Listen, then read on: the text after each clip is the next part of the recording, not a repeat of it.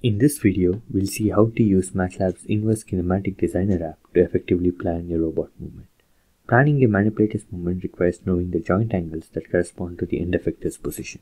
This is obtained by utilizing inverse kinematics, which solves for the joint angles with any constraints set by the user. This process is made easier with MATLAB's Inverse Kinematics Designer app, and the app also allows the user to teach and visualize the motion in simulation instead of using a real robot, which increases downtime.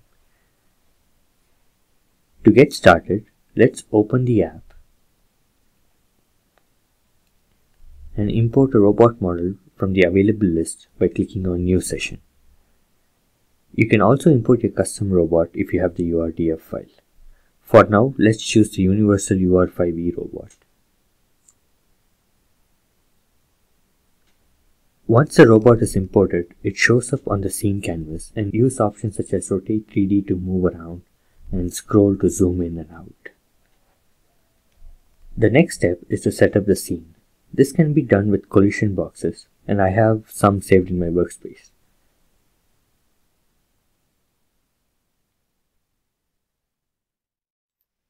You can create your own by using the collision box command as shown here. You can set the position of the box by using the pose argument. More information on collision boxes can be found in the description. For this video, we'll look at the robot configuration to pick up an object from the part feeder shown here and place it on the box here. You can move the robot arm by dragging these axes. The red, green and blue correspond to the X, Y and Z axis. To get it to the part feeder, you can get the position of the object by clicking on it and then use the add constraint option and choose pose constraint to directly enter the position values.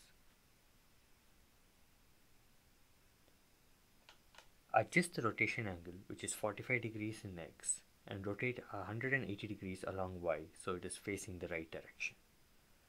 Once the robot is in the desired position, we can check for any collision by clicking on check collision. The collisions are highlighted in red and we can see that the robot body is colliding with the station base. To address this, let's add a Cartesian constraint. In the Constraints tab, select Cartesian bounds which shows the constraint option and a box in dotted lines to better visualize it. Here we want the forearm link to not extend as far as the feeder base.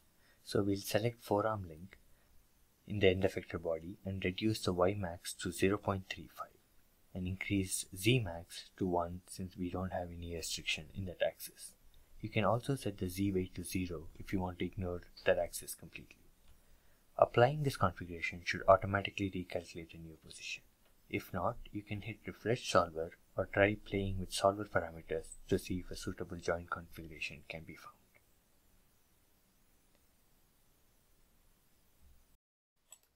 We'll then use the graphical interface to slightly pull the end effector off the feeder so there is a gap.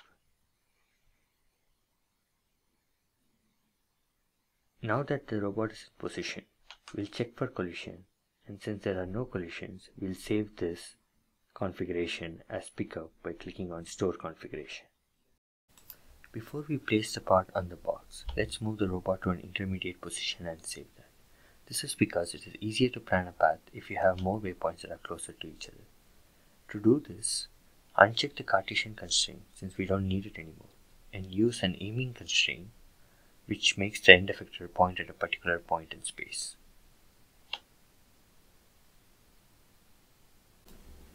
We'll check for collision and save this point as enter.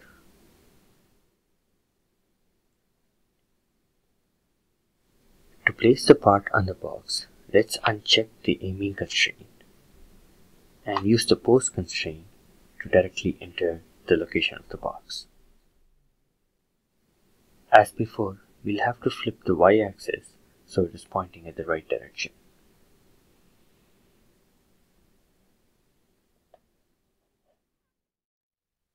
Once again, we'll check for collision and then save this configuration as place. Now you can use the slider to snap through different waypoints to see if they make sense. These configurations and solver settings can then be exported to the workspace to plan your robot path.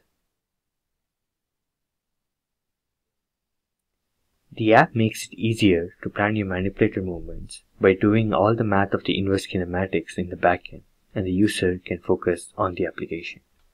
More information on path planning and how to use these waypoints can be found in the links given in the description.